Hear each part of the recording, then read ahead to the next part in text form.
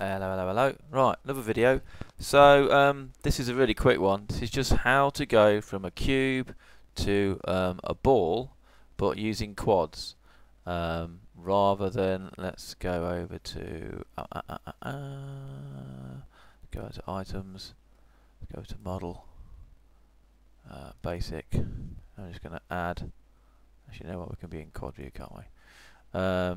I can go and add a box. So if you're going to hold down the shift key, add a new one. Actually, don't want to do that one. I've made a ball. There we go.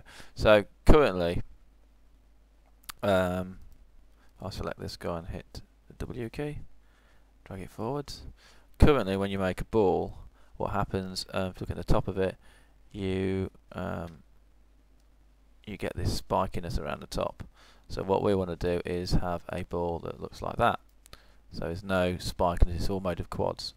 So let's go and do that. So um, this guy, I've got him selected, let's go and hide him for a minute. So, how do we do that then? Well, let's unhide our cube. So I've got a cube here. I'm going to select it. I'm going to go into polygons, select the top polygon.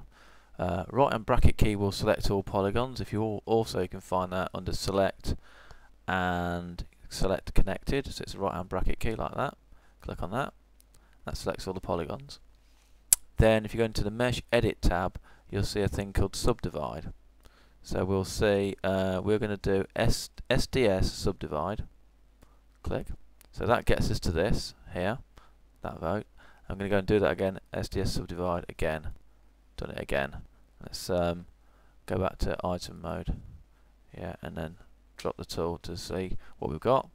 And all we're going to do now we're going to add a subdivisional surface on it um, and all we need to do to do that is press the tab key. So uh, if you're inside Studio Max you need to go and add a modifier called a turbo smooth. But um, inside Lightwave or inside um, Modo you just select the object hit the tab key. That now does a subdivisional um, subdivides it. And currently it's on subdivision level 2 so we can make that 6 for instance. And then if I go and select something else you'll see the amount of polygons that you're making it with that. Because um, I haven't got smooth on so it helps you see how many actual polygons you're making and that's, that's subdivided uh, on this one subdivided 6 and there you go. So it's just a short video. How to make a ball that does not have any top spikiness like that. Yeah made of quads. So pretty simple. And uh, there you go, quick one.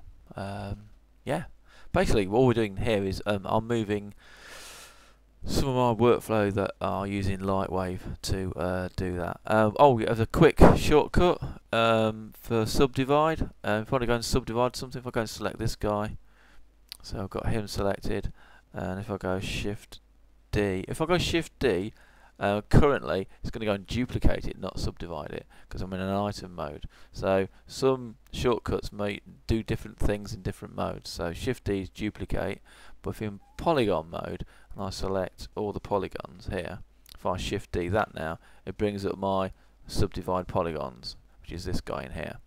Um, and again, we're going to use that guy there, and all we're going to do is Shift D again, and that guy there, and we're all good to go.